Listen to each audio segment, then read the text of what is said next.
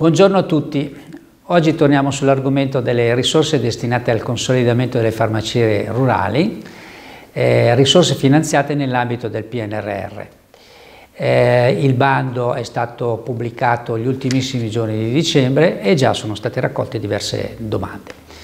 Ricordo che si tratta di un contributo pari a 100 milioni di euro e che verrà erogato secondo regole che qui eh, ci sentiamo di, eh, di ripetere eh, il contributo mira a permettere tutte le farmacie, ricordiamolo, tutte le farmacie rurali sussidiate di dotarsi di mezzi e di attrezzature per poter gestire al meglio la dispensazione del farmaco ed erogare determinate tipologie di servizi. Sottolineo come questo sia un importante passo verso la crescita di ruolo della farmacia nel dare risposte ai bisogni del cittadino proprio là dove eh, c'è maggiore necessità e dove la farmacia eh, è da rinforzare perché costituisce l'unico eh, presidio presente sul territorio con tutte le sue fragilità.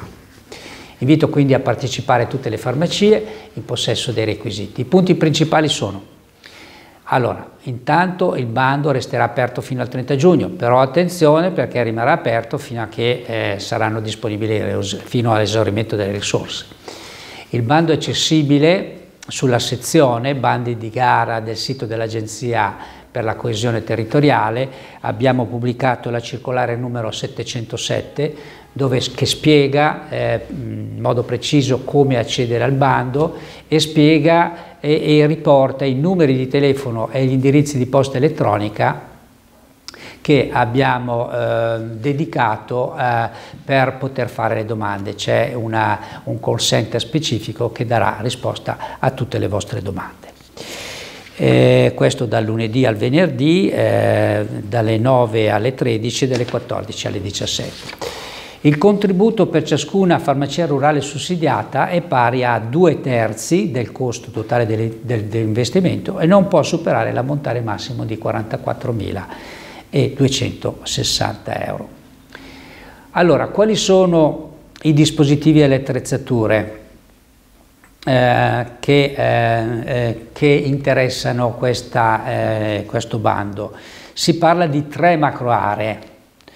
Allora, la prima macro area riguarda intanto la formazione eh, sui farmaci innovativi, sui farmaci eh, antitumorali, e la riorganizzazione dell'area di dispensazione. Quindi si parla di acquisire eh, per esempio macchine frigorifero, per esempio cassettiere, per esempio banco lineare, per esempio eh, eh, meccanismi di automazione del magazzino.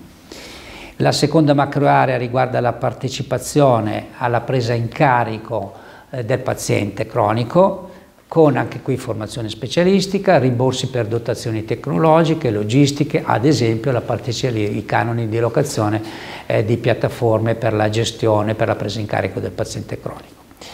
La terza macro area è eh, dedicata all'erogazione di servizi di primo e secondo livello, anche qui si parte con una formazione specifica e poi il rimborso riguarda eh, l'acquisizione o il noleggio di dispositivi di telemedicina, per esempio, oppure l'acquisto di analizzatori sangue e urine. Non solo, ma è previsto anche rimborsi per l'adeguamento di aree eh, dedicate proprio all'erogazione di questi servizi. Lettino eh, piuttosto che poltrone, eh, piuttosto che console, eccetera. Bene, Ehm, eh, comunque sul bando eh, si troverà nella scheda specifica, si troverà il dettaglio di questi dispositivi, quindi potranno essere scelti con precisione. L'Agenzia eh, per, per, eh,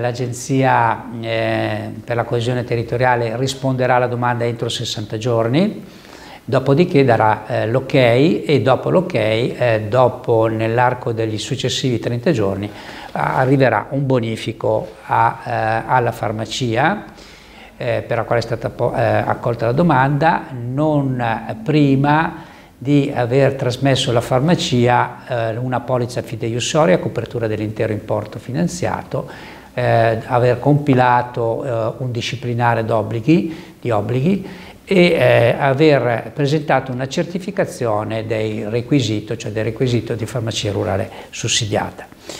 Ehm, eh, ovviamente l'agenzia poi si occuperà di fare i controlli a posteriori.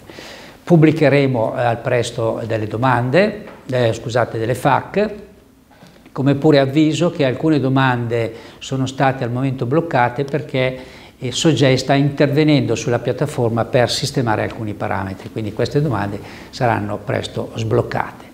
Eh, raccomando a tutti di usufruire di questa importante opportunità, ringrazio per l'attenzione e auguro a tutti buon lavoro.